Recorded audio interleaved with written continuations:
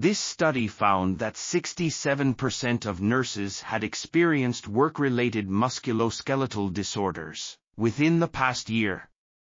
Lower back disorder was the most common type of disorder, affecting 75% of the sample, followed by knee disorders affecting 52%, and the least common being upper back disorders affecting only 9%. Additionally, there was a significant association between gender and the prevalence of musculoskeletal disorders, with females having higher rates than males.